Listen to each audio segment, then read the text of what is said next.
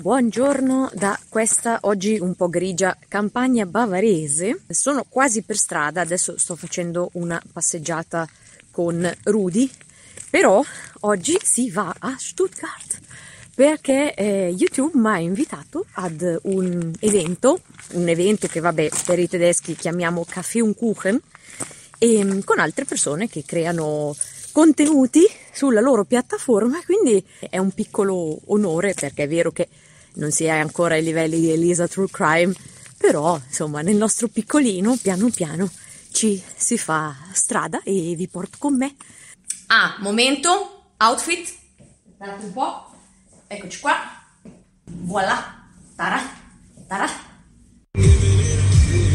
Ragazzi, 20 gradi al 29 di ottobre. Sono quasi arrivati a Stuttgart, manca pochissimo. Ma volevo condividere questo cielo blu spettacolare visto che non c'è traffico. Meraviglioso!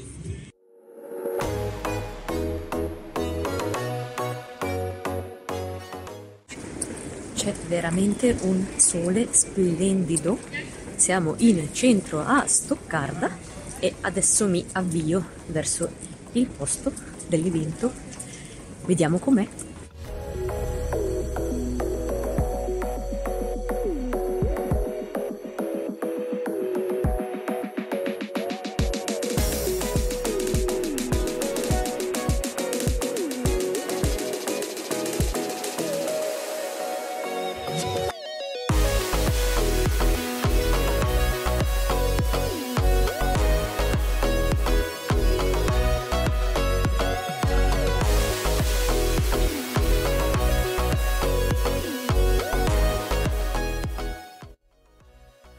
Piccolo momento di orgoglio da condividere. Ta-da! Col mio badge, col mio nome. Yeah!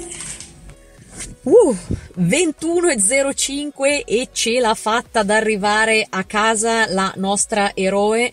Il viaggio d'andata benissimo, il viaggio di ritorno benissimo.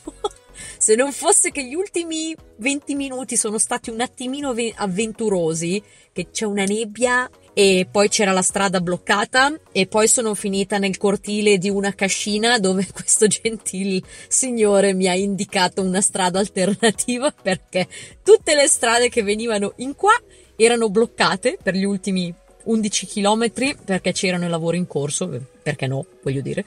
Quindi adesso sono stanchissima, ma vi racconto dell'evento di oggi domani mattina che per voi sarà tra 3, 2, 1 Buongiorno, senza trucco e senza voce, come si può ben vedere. Qua abbiamo un ospite d'onore, ciao Rudy.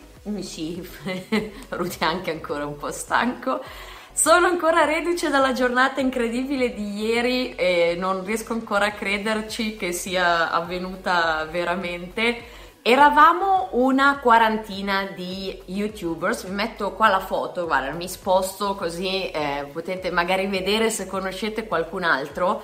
E c'era veramente di tutto, persone che creavano contenuti di tipi diversissimi, da chi aveva un canale con eh, i cani, un canale per riordinare, quindi un po' tipo minimalismo, come rendere la casa più abitabile, meno piena, chi fa video di uh, pulizie, quindi tips and tricks di come pulire cose, e gamers, un signore che si è reinventato durante la pandemia e siccome è un appassionato di Lego ha iniziato a fare video con i Lego, con le costruzioni e adesso ha tipo 55 anni e vive di quello. Quindi la potenza no, dei social media che tante volte viene sottovalutata.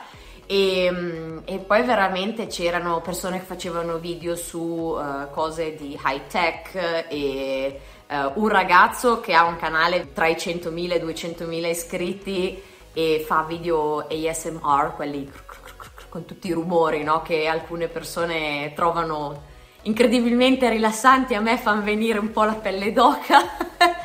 e, ed è stato molto bello perché era veramente un mix colorato di persone con canali più piccoli del mio, col canale mh, mm, simile al mio, col canale molto più grosso del mio, come avrete adesso immaginato, visto che appunto ho nominato questo canale con 100-200 mila iscritti. Ehm, persone che creano contenuti anche da 10-14 anni, cioè per me è stato un onore grandissimo essere parte di questo meetup, di questo evento a Stoccarda perché insomma io sono tra virgolette solo tre anni che creo i miei video, sono partita da zero, da sola, cercando di informarmi sempre meglio, di cercare no, consigli su come fare editing dei video, eccetera. Quindi è stata una cosa molto bella perché c'erano una quarantina appunto di persone, ma invitate in base a diciamo la loro personalità,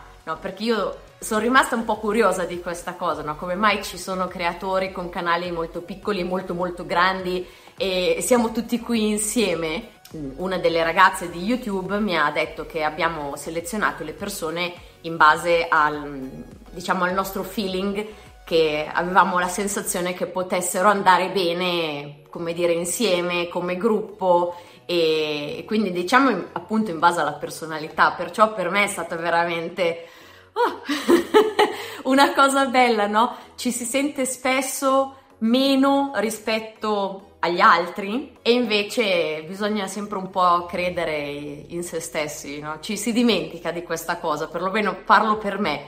E tante volte magari uno pensa che solo la grandezza del canale conti e invece no, dipende anche molto da come sei tu e da che argomento tratti, perché c'erano persone che vivevano di social media e YouTube con 22.000 iscritti e persone che con 100.000 non vivevano di YouTube, altri sì, però dipende molto dalle tematiche anche che trattate, se poi, non so, fate anche eh, consulenze esterne, se fate, non so, eh, collaborazioni con marche e, e, via dicendo, insomma. Poi magari qualcuno mi dice, eh, ma vedi quel canale lì ha molti più iscritti di te. Sì, può essere, però ehm, ecco, c'era una cosa molto importante secondo me che accomunava tutte queste persone, ossia il fatto di creare qualcosa di positivo, qualsiasi fosse la tematica che trattava il canale di questi altri youtubers erano sempre delle tematiche per portare qualcosa di interessante, di costruttivo al, allo spettatore, no? a voi che siete al di là della telecamera. E, e poi erano tutte persone molto semplici, cioè non c'era nessuno che diceva ah sì io sono ho due milioni di iscritti. No no erano tutte persone molto molto alla mano socievoli veramente è stato interessante insomma. Quindi ecco, quando magari vedete persone che creano contenuti distruttivi invece che costruttivi, sì, troveranno sicuramente persone che li seguono, però non è l'obiettivo, no? YouTube vi vede e non, non è una cosa interessante per loro avere qualcuno che porta fuori un contenuto distruttivo, chiamiamolo così.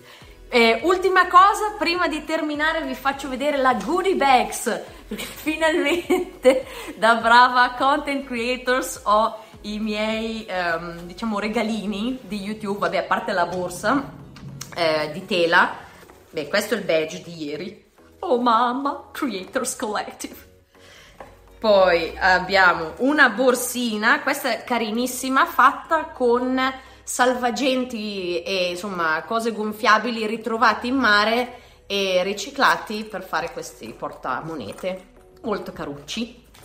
Poi eccoli qua. Rudy, non sei soddisfatto? Qua abbiamo un po' di adesivi, Creators Collective. Vedremo un po' dove attaccarli. Mi sono presa un fazzolettino, è rimasto tra le mie cose. Poi abbiamo, signore e signori, i calzettini è il simbolo di YouTube. And last but not least, il Forza 4 brandizzato di YouTube. Ragazzi, che emozione! Voilà, è bianco con i pallini rossi e, e neri. Poi da qualche parte c'è il logo, ma eh, adesso non saprei do- dirvi dove, non, non, lo sto a tirare fuori. Che mi partono pallini ovunque. Benissimo, ragazzi, ehm, io eh, mi stavo per dimenticare di dire una cosa grazie anche a voi che seguite il canale, perché vero che io ci ho messo tanto impegno, ci metto tanto impegno, ma non andrei da nessuna parte senza le quasi 5.000 persone che siamo, giusto? Giusto, sì, diglielo. non dimentichiamoci. Quindi no, seriamente grazie, vero Rudy? Cosa diciamo? Grazie di cuore e spero che diventeremo molti molti di più nei prossimi mesi, anni e essere parte dell'evento di ieri è stata veramente una sorpresa molto piacevole, spero che ce ne saranno altri nei prossimi mesi, anni, vedremo. E se il video vi è piaciuto, come sempre, cosa diciamo Rudy? Come sempre, pollice in su e noi ci vediamo al prossimo video. Ciao!